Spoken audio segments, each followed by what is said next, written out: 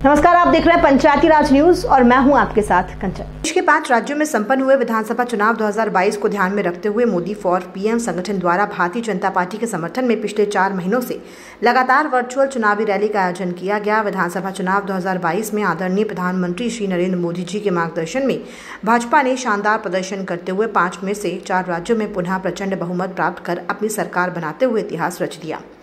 इसी विजयश्री को उत्सव के रूप में मनाने हेतु मोदी फॉर पीएम संगठन ने वर्चुअल चुनाव विजयोत्सव रैली 2022 का आयोजन किया, जिसकी शुरुआत संगठन के संस्थापक और राष्ट्रीय संयोजक श्री रोहित गंगवाल ने अपने स्वागत भाषण से की। इस कार्यक्रम में मुख्य अतिथि के रूप में श्री सैयद शहनवाज हुसैन जी, उद्योग मंत्री बिहार सरकार और राष्ट्रीय प्रवक्ता भाजपा, पूर्व केंद्रीय रोड ट्रांसपोर्ट और उड्डयन कैबिनेट मंत्री भारत सरकार, डॉक्टर सुधांशु त्रिवेदी जी, राज्यसभा सांसद सदस्य और राष्ट्रीय प्रवक्ता भाजपा श्री प्रेम शुक्ला जी, वरिष्ठ नेता और राष्ट्रीय प्रवक्ता भाजपा श्री अविनाश राय खन्ना जी,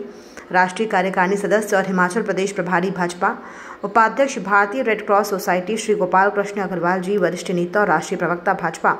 प्रोफेसर नरेंद्र तनेजा जी, वरिष्ठ भाजपा नेता, पूर्व राष्ट्रीय प्रवक्ता, पूर्व राष्ट्रीय संयोजक ऊर्जा सेल,